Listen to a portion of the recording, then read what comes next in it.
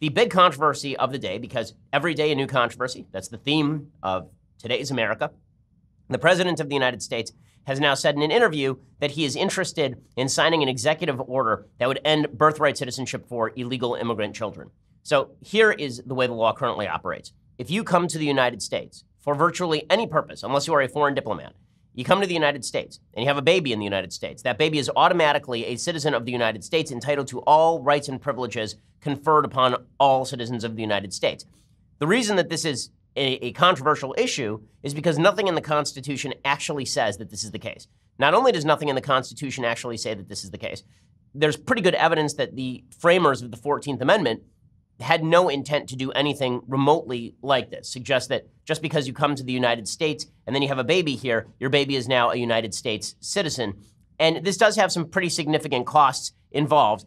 Right now, you have in California, we've seen many stories about this. You've had situations where legitimate birth tourism is happening. People are traveling to the United States just to have babies in the United States so that their kids become American citizens. And there's some pretty significant impacts. The Center for Immigration Studies, which is very anti illegal immigration, they estimate that between 300 and 400,000 children are born to illegal immigrants in the United States every single year, meaning one out of every 10 births in the United States is to an illegal immigrant mother all of those children are considered by the executive branch of the U.S. government to be U.S. citizens, enjoying the same rights and privileges as the children of U.S. citizens. The population of U.S. born children with illegal alien parents has expanded rapidly from 2.3 million in 2003 to 4 million in 2008. And that does not include children who are 18 years of age or older, so the actual figure is actually somewhat larger all of the benefits that are available to American citizens are obviously available to these American citizens. There's a lot of talk about illegal immigration not having a tremendous impact on the American economy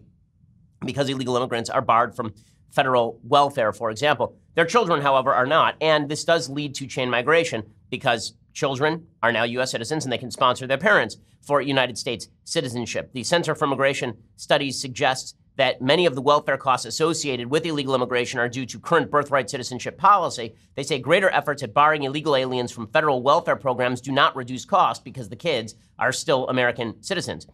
Nationwide, 40% of illegal alien headed households receive some type of welfare. In some states, the rate is higher. In New York, 49% receive welfare. In California, 48%. Only 19% of households headed by native born citizens make use of a major welfare program. In other words, illegal aliens who have American citizen children are taking advantage of welfare at exorbitant rates. And states offer additional welfare benefits as well. This is all according to the Center for Immigration Studies. Again, the LA County supervisor estimates that illegal immigration and birthright citizenship cost taxpayers in LA County over a billion dollars annually, not including education costs. That's a lot, a lot of money.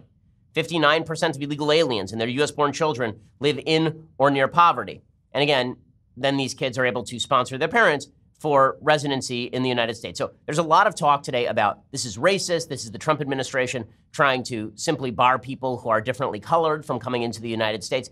No, there are serious economic costs associated with low income people and low uh, and poorly educated folks who are illegally immigrating to, immigrating to the United States, coming here, having babies, their kids become citizens, and now their kids are entitled to all of the benefits that American citizenship confers.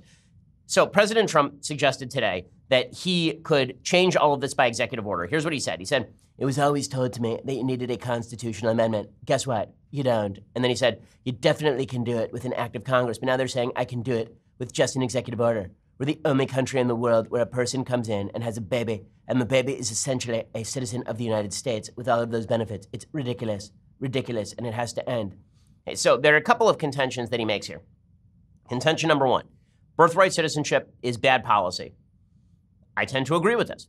I think that birthright citizenship is bad policy. If you're just coming across the border and having a baby in the United States, that does not mean that you have come in through our legal immigration system. And your children are going to be much more impacted, obviously, by their parents than they're going to be impacted simply by force and dint of living in the United States. So if you're interested in a country that assimilates people to American values, you need people immigrating legally and then having babies here legally.